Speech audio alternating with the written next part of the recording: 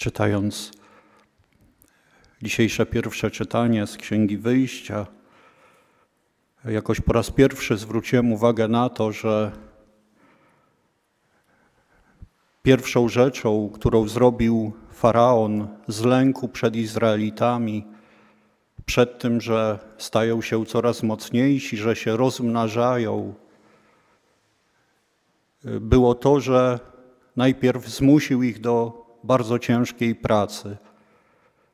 To była pierwsza rzecz, która miała uderzyć, czy miała spowodować to, że przestaną się rozmnażać, przestaną przekazywać życie. Dopiero drugą rzeczą było to nakazanie zabijania chłopców, a pozostawiania przy życiu dziewczynek. Jeszcze do tego wrócę. Święty Jan Paweł II często mówił o cywilizacji śmierci, w której żyjemy. My to e, rozumiemy najczęściej odnosząc się do aborcji, do eutanazji, do braku poszanowania ludzkiego życia w takich bardzo konkretnych sytuacjach, kiedy to życie jest deptane, kiedy jest ono niszczone. A myślę, że rzadko właśnie patrzymy na tą cywilizację śmierci, do której też, do której to śmierci prowadzi też praca. Dzisiaj słyszeliśmy w tym czytaniu, że Izraelici zostali obłożeni bardzo ciężką pracą. I tak, tak zobaczyłem, że ta ich sytuacja jest takim obrazem życia wielu współczesnych nam ludzi. Może nie wszyscy się odnajdziemy w tym, co powiem. Jeśli nie, to, to niech to będzie przynajmniej przestrogą dla nas. E, udało mi się odnaleźć gdzieś w internecie raport WHO z 2016 roku, który mówi o tym, że w tymże roku e, ze względu na ciężką pracę zmarło prawie 750 tysięcy ludzi. To było 30% więcej niż w 2000 roku. Nie wiem, jak to się zmieniło do dnia dzisiejszego, minęło 7 lat. 750 tysięcy ludzi zmarło z przepracowania. Możemy się zapytać, ilu ludzi wpadło w depresję, w nerwice, ile oso ilu osobom ze względu na pracę rozleciało się małżeństwo, rodzina. Kiedyś znajomy opowiadał, że pracując w korporacji mieli specjalne szkolenie, które miało ich nauczyć tego, jak ciężko pracować w korporacji, a jednocześnie nie stracić swojej żony i swojej rodziny. Coś, coś strasznego. Praca na pierwszym miejscu. Można doszukiwać się różnych przyczyn tego takiego stanu rzeczy.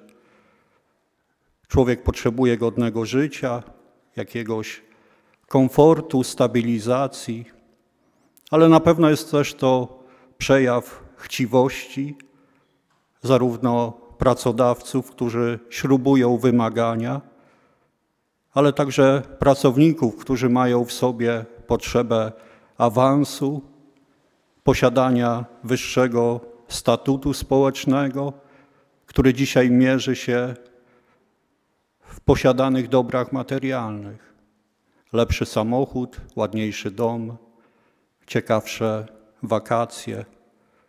I moi drodzy, ten problem przepracowania, on dotyczy nie tylko ludzi, którzy pracują w korporacjach.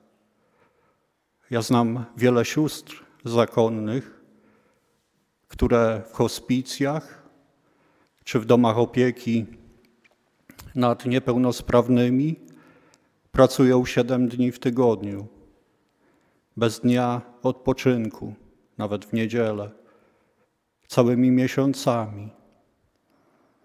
Coraz mniej powołań, a więc coraz mniej rąk do pracy, a pracy i obowiązków nie ubywa. Potrzeba i różne sytuacje niejako przymuszają nas do takiego stylu życia nielitościwie. I wielu ludzi doświadcza dzisiaj utrudzenia pracą do granic możliwości i ciągłego braku czasu. I znowu tak często słyszę, proszę księdza, nie mam czasu. W tych słowach kryje się bardzo często ogromne rozgoryczenie, smutek, pustka czy bezsens życia. Rodzice nie mają czasu dla swoich dzieci, małżonkowie nie mają czasu dla siebie nawzajem, siostry nie mają czasu na budowanie wspólnoty w swoich domach, księża nie mają czasu na budowanie wspólnoty na plebaniach, bo ciągle musimy jeszcze coś zrobić, jeszcze kogoś zadowolić, jeszcze się czymś wykazać. I niby wszyscy zdajemy sobie sprawę z tego, że to nie tak ma wyglądać, ale z drugiej strony bezradnie rozkładamy ręce, twierdząc, że inaczej już nie da się żyć. Izraelici też się przyzwyczaili do takiego stanu rzeczy. Kiedy Mojżesz przychodzi, aby ich wyprowadzić z Egiptu, to oni wcale się tak nie rwali do tego, żeby ten Egipt opuścić. A później, kiedy już wyszli na pustynię, to szemrają, jak im to było dobrze w Egipcie. Pełne garnki mięsa, wszystko, czego potrzebowali. Można się przy, przyzwyczaić do takiej rzeczywistości, ciężkiej pracy. Co budujemy przez takie życie? Słyszeliśmy, że Izraelici budowali dla faraona dwa miasta na składy Pitom i Ramzes. One są bardzo symboliczne, o czym pisze Orygenes, wyjaśniając to w następujący sposób. Pitom możemy przetłumaczyć jako usta braku lub usta otchłani, a Ramzes jako poruszenie robaka lub miasto słońca. Usta braku, ponieważ brakuje ust, gdy głosi się kłamstwo, gdy brak prawdy i argumentów. Faraon, który jest obrazem szatana, jest od początku ojcem kłamstwa. A usta otchłani, bo otchłań jest miejscem zagłady i śmierci.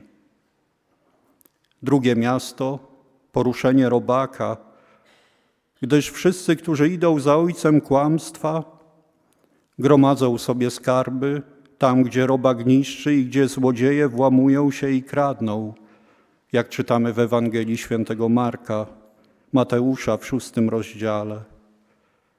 Budują również drugie miasto, zwane miastem Słońca, bo faraon podaje się za anioła światłości – o czym mówi święty Paweł w drugim liście do Koryntian w jedenastym rozdziale. Faraon boi się porażki, wyrażając to słowami, aby nas nie pokonali i nie wysz, wyszli z naszej ziemi. Dlatego za wszelką cenę chce, by byli ludźmi cielesnymi, ziemskimi, zanurzonymi po uszy w to, co jest przemijające, bez odniesienia do tego, co jest wieczne. A odniesienie do wieczności ma tylko człowiek duchowy, człowiek, który żyje w Chrystusie. Zobaczcie, moi drodzy, że faraon ustanowił nadzorców prac, którzy mają uczyć Izraelitów, ale mają uczyć też nas swoich umiejętności i występków tacy nauczyciele zła, poganiacze, którzy wszystko nadzorują, nad wszystkim mają kontrolę, wydają rozkazy i zmuszają do niewolniczej pracy w taki sposób, by człowiek miał przekonanie o jej sensowności i wykonywaniu jej w wolności. Możemy się sami zastanowić, kto dla nas jest takim poganiaczem, kto nad nami sprawuje władzę, kto nam wyznacza drogi naszego życia, naszego myślenia, kto nas prowadzi do tego, że może nierzadko albo często jesteśmy podporządkowani naszej pracy, nie tylko tej fizycznej, ale różnym wysiłkom, by się lepiej żyło, by było wygodniej, dostatniej. Jakby tego było mało, jak wspomniałem na początku, faraon wydał rozkaz wszystkich nowonarodzonych chłopców Hebrajczyków należy wrzucić do rzeki, a dziewczynki pozostawić przy życiu. I znowu Orygenes tutaj odnosi się do głębszego sensu tych słów faraona, gdyż w kobietach widzi to, co cielesne, emocjonalne, co uczuciowe. Natomiast w mężczyznach rozumny zmysł i rozumnego ducha. I proszę tutaj nie traktować tego jako ujmowanie czegokolwiek z godności i wielkości kobiety, bo kiedy czytamy dalej Księgę Wyjścia, to położne, które zajmowały się odbieraniem noworodków, wcale nie słuchały rozkazu faraona. A matka Mojżesza za wszelką cenę go ratuje. Ten podział i rozumienie rozkazu faraona pokazuje nam, że on nienawidzi rozumnego umysłu, który umie pojmować sprawy niebieskie, który potrafi rozumieć Boga. On chce, by w człowieku żyło tylko to, co cielesne i to, co zmysłowe, by człowiek nie dociekał, skąd pochodzi i dokąd zmierza, by pławił się w przyjemnościach i rozkoszach, nawet jeśli kosztuje go to dużo wysiłku, bez głębszego zastanowienia się nad życiem. Faraon nie chce, by w Egipcie żyli ludzie wolni. Wie, że kobiety nie będą dla niego stanowiły zagrożenia. Podobnie jak zniewieściali panowie. Chciałbym tutaj przywołać słowa świętego Pawła z listu do Galatów. Wy zatem, bracia, powołani zostaliście do wolności. Tylko nie bierzcie tej wolności jako zachęty do hołdowania ciału. Oto czego uczę. Postępujcie według ducha, a nie spełniajcie pożądania ciała. Ciało bowiem do czego innego dąży niż duch, a duch do czego innego niż ciało. Mamy być ludźmi duchowymi i wolnymi, a takimi stajemy się tylko w Chrystusie. I nie dzieje się to z automatu, tylko dlatego, że jesteśmy ochrzczeni. Potrzeba nam nieustannie otwierać się na Chrystusa i Jego obecność w naszych sercach i życiu. A On, Jezus, Jezus Chrystus, nowy Mesjasz, będzie nas wyzwalał z mocy Faraona i niewoli Egiptu. Zobaczmy, co jest naszym Egiptem, co jest naszą niewolą. Może tak do tego Egiptu i do tej niewoli przywykliśmy, że nawet nie czujemy tego, że jesteśmy niewolnikami. Nie czujemy potrzeby wolności. Idziemy w jakimś jednym kierunku, bo wszystko i wszyscy wokoło mówią, że to jest właściwy kierunek, że tak trzeba żyć, że inaczej się nie da, że inaczej nie warto. Chciałbym się teraz odnieść do jednego z wymiarów, który sprawia, że z niewolników stajemy się ludźmi wolnymi. A jak powiedziałem, dokonuje się to nieustannie w Chrystusie i przez Chrystusa. A więc to jest dla nas wskazówka, że chodzi tutaj o naszą relację z Jezusem. Z tej relacji tak naprawdę wynika wszystko inne. Pan Jezus przypomina nam o tym w dzisiejszej Ewangelii. Możemy się wzdrygać, kiedy słyszymy słowa, że mamy Go bardziej kochać niż ojca, matkę, syna czy córkę.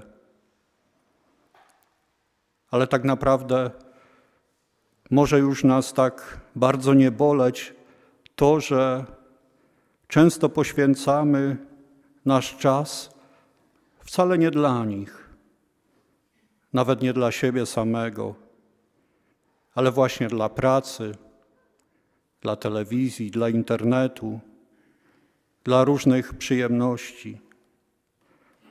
Nasi bliscy chcieliby, byśmy byli dla nich, a my robimy wiele innych rzeczy. Nawet, nawet nie uświadamiając sobie, jak bardzo jesteśmy od siebie daleko. Jeśli postawimy Chrystusa w centrum, Jego pokochamy, ofiarując Mu siebie i nasz czas, tak jak On daje nam siebie, to się nie bójmy. Innych też będziemy kochali prawdziwą miłością. I to nie tylko tych najbliższych, nie tylko ojca, matkę, syna, córkę, żonę, brata, ale może sąsiada, który jest wrednym człowiekiem, szefa w pracy, który stawia coraz większe wymagania, może naszego nieprzyjaciela, który nam ciągle zachodzi za skórę. Tak powinien kochać chrześcijanin. Ksiądz Marek o tym mówił. Nasze serce, przepełnione Chrystusową obecnością i miłością, powinno być otwarte na każdego i powinno być otwarte na życie.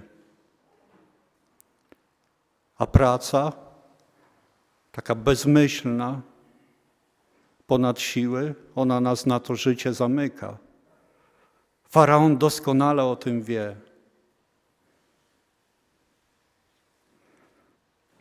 Na relację z Panem otwieramy się między innymi, a więc nie jest to jedyna przestrzeń, ale jedna z najważniejszych, przez naszą obecność wobec Jezusa Eucharystycznego. I nie będę tutaj mówił o mszy świętej, bo ten temat już był wiele razy tutaj poruszany, ale chciałbym jeszcze powiedzieć o adoracji Najświętszego Sakramentu. A w najbliższym czasie może jeszcze uda się powiedzieć o kontemplacji. Dzisiaj ksiądz Marek w tym, co mówił, jakby zwracał na to uwagę, że Chrystus, On jest obecny w każdym z nas. Jesteśmy Jego świątynią. Możemy Go adorować w sobie Możemy go adorować w drugim człowieku. Adoracja powinna być naszą odpowiedzią na narastający w świecie i w nas kult bożków, kult pieniądza, seksu, sławy, humanizacja zwierząt, kult ciała i zdrowia i wiele, wiele innych jeszcze spraw. Wszystkie te fałszywe bóstwa obiecują nam przyjemności i wolność. Papież Benedykt XVI tak o tym mówił. Adoracja Boga, Jezusa Chrystusa, który stał się chlebem łamanym z miłości, jest najbardziej skutecznym i radykalnym środkiem przeciwdziałającym wszelkiej, dawnej i współczesnej idolatrii czyli kultowi bożków. Klęczenie przed Eucharystią jest wyznaniem wolności. Ten, kto klęka przed Jezusem, nie może i nie powinien korzyć się przed żadną ziemską władzą, bez względu na jej siłę. My, chrześcijanie, klękamy tylko przed Bogiem, przed Najświętszym Sakramentem, ponieważ w nim, jak wiemy, jak wierzymy, jest obecny jedyny prawdziwy Bóg, który stworzył świat i tak go umiłował, że dał swego jednorodzonego syna. Przed kim klękam najczęściej? Kogo adoruję w moim życiu? Można adorować swoje dzieci. Można adorować, tak w cudzysłowie, telewizor, komputer. Pieniądze można adorować. Władzę, którą mam, mogę adorować. Mogę adorować swój piękny samochód, zachwycając się nim i wiele innych spraw. My mamy adorować Jezusa Chrystusa. I znowu papież Benedykt mówi: Celebracja i adoracja Eucharystii pozwala przybliżyć się do miłości Boga i przylgnąć do niej osobiście, aż do zjednoczenia z umiłowanym Panem. A najlepszym miejscem do modlitwy jest Kościół. W tym miejscu moglibyśmy usłyszeć zarzut, ale przecież mogę także modlić się w lesie, na łonie natury. Oczywiście można to robić, ale gdybyśmy ograniczyli się tylko do tego, inicjatywa modlitwy leżałaby jedynie po naszej stronie. Bóg zaś byłby wtedy postulatem naszego myślenia. Kwestia tego, czy On nam odpowie, może odpowiedzieć i chce, pozostawałaby otwarta. Eucharystia oznacza, Bóg odpowiedział. Eucharystia jest Bogiem jako odpowiedzią. Inicjatywa kontaktów Bóg-człowiek już nie leży po naszej, lecz po Jego stronie. I dopiero wtedy staje się rzeczywiście szczera. Dlatego modlitwa w przestrzeni adoracji eucharystycznej osiąga nowy wymiar. Dopiero teraz jest ona obustronna. Dopiero teraz jest rzeczywistym wydarzeniem. Ona jest nie tyle obustronna, co wszechogarniająca. Kiedy modlimy się w eucharystycznej obecności Chrystusa, nigdy nie jesteśmy sami. Wtedy zawsze modlimy się, modli się z nami cały celebrujący Eucharystię Kościół. Adoracja sprawia, że nie jesteśmy sami. To jest też odpowiedź na samotność, którą dzisiaj tak wielu ludzi przeżywa. Można żyć w wieloosobowej rodzinie, chodzić codziennie do pracy i doświadczać ogromnej samotności, ogromnej pustki. Można spotykać się z drugim człowiekiem i nie doświadczać niczego żadnej radości, żadnej relacji. Dzisiaj to jest tragedia, szczególnie wśród młodych ludzi, którzy ze słuchawkami w, uszach, wpatrzeni w monitory komputerów czy telefonów, nie potrzebują nikogo. Przynajmniej tak im się wydaje. Doświadczają ogromnej alienacji i samotności. A Jezus jest. Jezus czeka. Jezus pragnie być i jest dla człowieka. Ale my musimy zrobić ten krok w Jego stronę. Człowiek, który adoruje Pana Jezusa w Najświętszym Sakramencie, i to jest takie moje przekonanie i doświadczenie, w sposób naturalny będzie wchodził w kontemplację. Będzie doświadczał obecności Chrystusa nie tylko w Kościele, ale będzie się z Nim spotykał w swoim sercu. Będzie to mógł robić wszędzie i zawsze. Zejść do tego serca, do tej izdebki, gdzie Bóg nas oczekuje w sercu każdego człowieka. Święty Jan od Krzyża powie, że Bóg jest obecny w sercu nawet człowieka żyjącego w najcięższych grzechach. bo taka jest miłość Boża. Tak Bóg nas umiłował. Tak Bóg nas pragnie. Jeden z braci mniejszych, małych braci, Karola de Foucault, Carlo Caretto, doskonale opisał w listach z pustyni, co dzieje się z człowiekiem, który trwa na adoracji dłużej. Odbywał nowicjat na pustyni, na Saharze. Miał spędzić tam tydzień w grocie sam na sam z Panem Jezusem obecnym w Najświętszym Sakramencie. Kapłan od, odprawił mu Eucharystię, zostawił Najświętszy Sakrament, odszedł. I Carlo Caretto pisze takie słowa. Cisza na pustyni, cisza w grocie, cisza w Najświętszym Sakramencie. Żadna modlitwa nie jest tak trudna, jak adoracja Najświętszego Sakramentu. Natura ludzka buntuje się ze wszystkich sił. Wolałoby się raczej kamienie dźwigać w żarze słońca. Zmysły, umysł, wyobraźnia to wszystko jest umartwione. Tylko wiara triumfuje. Wreszcie po pewnym czasie zmysły się uspokajają, a wtedy modlitwa staje się czymś rzeczywiście ważnym i tak poważnym, że nie można się bez niej obejść, bo staje się spotkaniem z osobą Boga. Rzeczywiście łatwiej jest nam chyba nosić te kamienie w żarze słońca. Przez te różne aktywności uciekamy od tego głębokiego pragnienia spotkania z Bogiem, doświadczenia Boga. Bardzo często robimy to nieświadomie.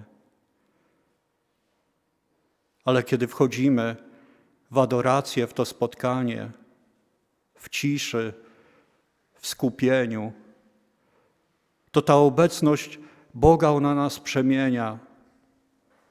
Ona sprawia, że już nie uciekamy w ten hałas, który nam codziennie towarzyszy, ale smakując tej ciszy i Bożej obecności, coraz bardziej pragniemy spotkania z Bogiem. I dzisiaj każdy z nas i cały świat niczego tak bardzo nie potrzebuje, jak tego, aby zginać kolana przed Bogiem w Najświętszym Sakramencie, spotykać się z Nim w naszych sercach, po to, by On nas przemieniał, by On nas uświęcał, a przez nas przemieniał ten świat. Czynił nas świadkami dla tych, którzy są pogrążeni w ciemności i szukają sensu życia. Nie adorujemy siebie na adoracji. Przez myślenie o tym, czy dobrze się modlę, czy dostatecznie długo, czy ktoś mnie widzi, czy jestem skupiony, zadowolony, czy nie z modlitwy. Czy wszystko powiedziałem, czy o wszystko poprosiłem, za wszystko przeprosiłem, podziękowałem. Jest taka pokusa, żeby adorować siebie, a nie Jezusa. A On pragnie nas. Oczywiście pragnie nas ze wszystkim, co się składa na nasze życie. Źle by było, gdybyśmy wchodzili do świątyni i przed progiem jej zostawiali cały bagaż tego, co się składa na moje życie. Przecież nie godzi się wejść z, mo z moimi słabościami, z moją grzesznością, a więc zostawiam je przed progiem świątyni. Nie. Jezus chce, żebyśmy weszli z tym wszystkim, co jest nasze, z moją słabością, z moim grzechem. Czasami trzeba to wszystko z siebie wypowiedzieć, pokazać. Chociaż Pan Jezus dobrze o tym wie, ale tak jak powiedział do siostry Faustyny, On lubi, kiedy mu ona o wszystkim mówi, a więc na pewno lubi, kiedy i my mu pokazujemy wszystko. Nie koloryzujemy, nie pudrujemy, nie udajemy. Ale też nie bójmy się trwania w ciszy, w takiej bezczynności, właśnie bez pracy, bez wysiłku, bez mówienia. Po prostu być. Jestem dla Niego tak samo, jak On jest dla mnie. Moi drodzy, niech te słowa dzisiejsze będą zachętą do tego, żeby adorować Jezusa, spotykać się z Nim, żeby ta Jego obecność wyrywała nas z tego Egiptu, w którym może tkwimy, może czasami w takiej bezmyślności naszej pracy, która sama w sobie nie jest zła. My też dużo we wspólnocie pracujemy. I y, w naszym ogrodzie, na naszym polu.